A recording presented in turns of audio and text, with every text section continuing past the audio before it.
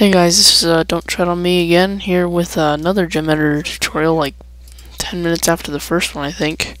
Actually, now like an hour. I was lying.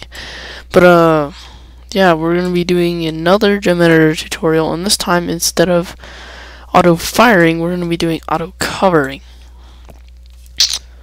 So basically, what you gotta do is, you gotta have an enemy and your guy, and you gotta give your guy some tags again and those tags, you know, whatever, I just called it player. And you also need to give some, your cover some tags, surprisingly, so you gotta go to map, which is F2, then do the same thing you would normally do to get the tags, and I just called it cover.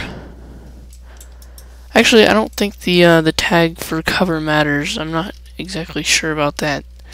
But anyways, and then you just need one trigger, actor to cover, and in there is actor to cover, you go find it under, under, uh, actor actor to cover just like actor fire. And then to do this all you have to do is go to selector add your player tag uh, drop covers I don't know what that does and then mode is best random or density. Random is random cover. Best is like his best cover option and then density I don't know what that does it brings up a number and yeah. But anyways uh yeah let's test this so as you can see, I did like nothing to move him there, and he went and just got under cover as soon as he saw the bad guy. And now let's see if Kuznetsov can murder this guy or what. This nice little Tokarev. Nice. Good job. Good job. Huh. I have a German's hat. Panzerwaffe. I am a government officer.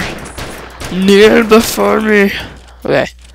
But yeah, I hope you guys uh, enjoyed that. And uh, yeah, just experimenting, tinkering, as I say it, more with the editor. Blah blah blah. So I hope you all have a nice day.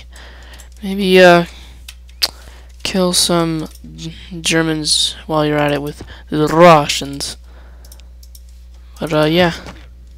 Just hope you guys have a nice day. Come on. Bam, bam, bam, bam, bam, bam, bam. There we go. See you all later.